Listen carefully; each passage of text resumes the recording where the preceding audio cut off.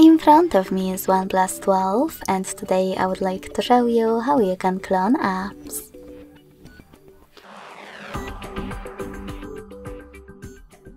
Begin by opening settings and scrolling all the way down to access apps.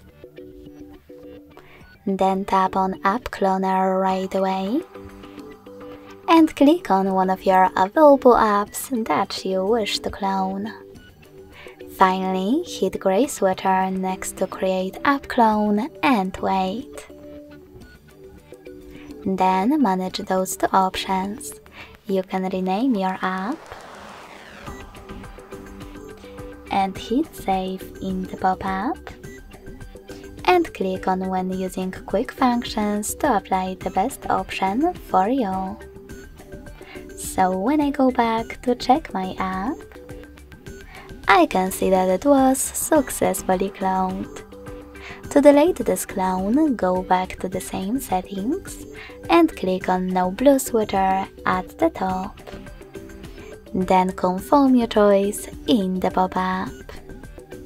Thanks so much for watching. If you enjoyed this video, leave a like, comment and subscribe. Bye!